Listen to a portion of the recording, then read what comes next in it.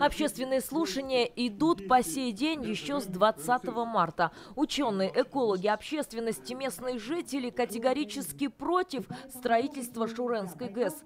Это кадры заседания, которое не так давно прошло в Министерстве природы Бурятии. Монгольская сторона представила технические задания по двум проектам, которые вызвали массу возмущений. Э, к сожалению, мы сейчас видим, кто представляет этот проект. Это монгольские специалисты, которые получили советское гидротехническое образование. Они и, мы, и э, мыслят в, такой советской парадигме. То есть построить, чем выше, чем крупнее плотина, тем лучше, больше электроэнергии, все. Ну а река, там же вода же останется. Подумаешь, текла живая река, будет мертвое водохранилище. Главная энергия будет, деньги.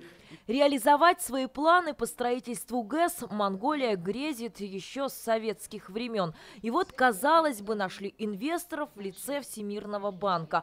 Независимые эксперты говорят, общественные слушания в России – большой шаг со стороны наших соседей. Ведь инициаторы проекта, монгольское бизнес-сообщество «Минис», долго сопротивлялись. Они знали, что все это приведет к увеличению сроков, замечаниям и проблемам. Тем не менее, Всемирный банк обязал провести эти самые слушания. Трансграничные реки, такие как в данном случае Селенга, всегда вызывали конфликты между государствами, если дело касалось строительства гидротехнических сооружений, говорит Артур Алибеков.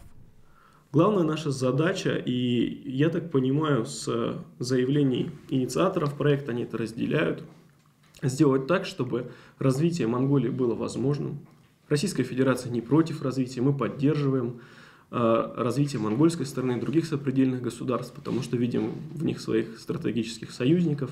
Но это развитие не должно наносить ущерба национальным интересам Российской Федерации, не должно наносить ущерба озеру Байкал, Потому что риски катастрофические, и это, пожалуй, понимают все, кто имеет отношение к великому наследию Байкала. Хочется надеяться, что монгольская сторона услышит нас и отменит строительство ГЭС на Селенге. А пока слушания продолжаются.